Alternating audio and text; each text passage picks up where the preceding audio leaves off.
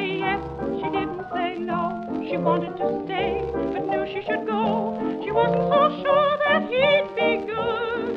She wasn't even sure that she'd be good. She wanted to rest, all cuddled and pressed, a palpable part of somebody's heart. She wanted to be all rapport with him, but not behind a bolted door with him. And what did she do? I leave it to you. She did just what you do too.